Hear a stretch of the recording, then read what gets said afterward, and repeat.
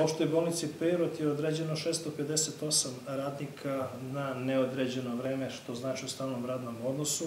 Po analizama ovim prvim koje smo mi imali, mislim da bi mi mogli tu dobro da polivamo i da se snađemo, jer mi imamo samo pet radnika trenutno viška u odnosu, u odnosu na određenu, određeni broj.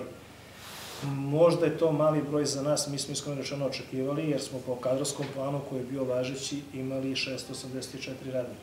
Imajući u vidu da je 684 do današnjeg, do jučerašnjeg dana faktički nada na, bila naša da to bude neki reper za određivanje broja, verovatno su analizom ministarstva trenutne situacije šta se sve dešavalo, odredili nama 658, mi trenutno imamo 672 zapošljena radnika u opštoj bolnici, 9 ljudi radi na određeno, ostali ljudi iz tog broja su na neodređeno, tako da verovatno kad budemo dobili instrukcije prirodnim odivom kadara ili provasom tehničkog, tehnološkog viška, uklopit ćemo se u tom broju i organizovat se. Jer realnost je da mi sada radimo sa tim kapacitetima, U medicinskom delu nam fale ljudi, vidjet ćemo kako će to naknadno da se rešava. U nemedicinskom delu, i sami znate, to smo više puta rekli, imamo devet, devet radnika koji su iznad normativa, četiri su u administrativnom delu i devet su u tehničkom pomoćnom osobu. A gde je višak? Kod lekara, kod sestara, kod nemedicinskog? Višak kod nas u bolnici je kod nemedicinskih radnika. I to je ono što se puno puta greši kad kaže ima viška u zdravstvu. U zdravstvu nema viška u smislu belih mantila, jer kod nas je obično ta podela beli mantili, plavi mantili.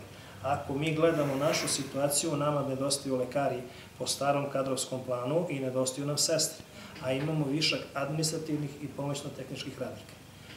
Problemi su više struki. Administrativni i pomoćno-tehnički radnici ne postoji, e, što ja kažem, neka sistematizacija. Ne postoji nešto što bi pomoglo rad zdravstvenim ustanovama. Na primer, predlog je naš bio i mi smo to prezentovali ministarstvu, da neko napravi neki normativ, da se zna ako u zdravstvenu ustanovu ima 100 radnika, da ima jednog pravnika, ako ima 300, a neka budu dva pravnika, ako ima 700, neka budu tri pravnika. Jer opšto je bolnica Pirot sa svojih skoro 700 radnika ima jednog pravnika. Tehnički je nemoguće postići i završiti sve poslove. Druga stvar, po tim nekim sistematizacijama na mnogim mestima se traže fakulteti i fakultetske diplome. A mi to nemamo rešeno. Nama to a, a, a, rade ljudi sa srednjom i sa visokom školom. Tako da taj nemedicinski sektor nije najbolje i najsrećniji uređen, jer razlikuje samo administrativne radnike, gde može da bude i doktor pravnih nauka, a može da bude neko koji ima srednju školu. Znači, tu su ti neki normativi koji nisu rešeni.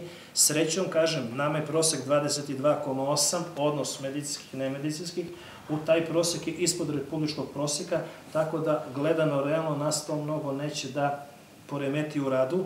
Nama fale lekari fale sestre, nadamo se da će to onog sekunda kad se taj problem reši, ako se bude smanjivalo i dalje nemedicinski sektor, na konto njih se primati lekari, jer mi moramo da držimo nivo 658 radnika koliko nam je opredeljeno.